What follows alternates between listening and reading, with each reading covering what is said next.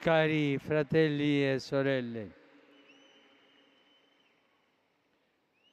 nei nostri cuori è vivo il dolore per la strage che la sera di giovedì scorso a Nizza ha falciato tante vite innocenti, persino tanti bambini.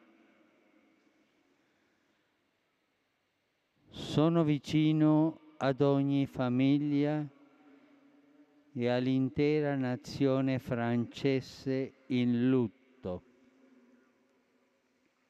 Dio Padre buono accolga tutte le vittime nella sua pace, sostenga i feriti e conforti i familiari.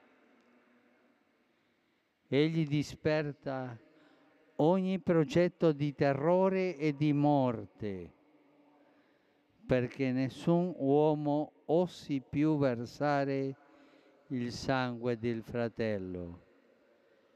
Un abbraccio paterno e fraterno a tutti gli abitanti di Nissa e a tutta la nazione francese.